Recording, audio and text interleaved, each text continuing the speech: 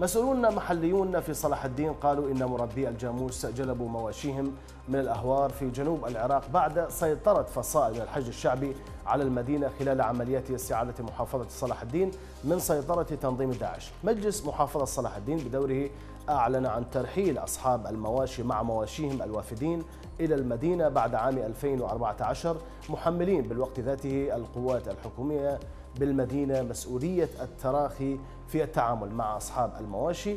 دعونا نتابع تصريح مجلس محافظة صلاح الدين. وقرر المجلس ما يلي.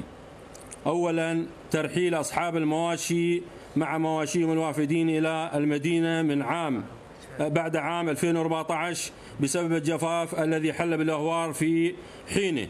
والعودة إلى ديارهم ويستثنى من ذلك المسجلين ضمن دائرة جنسية وأحوال مدينة سامراء.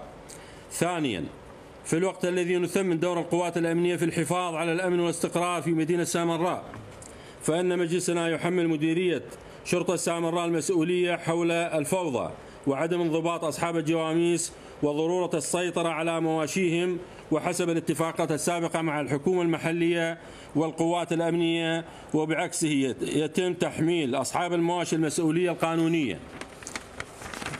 ثالثا تلتزم الإدارة المحلية ومديرية شرطة سامراء بأخذ تعهدات من قبل أصحاب المواشي وتبليغهم بمغادرة المنطقة خلال فترة أقصاها شهر واحد فقط.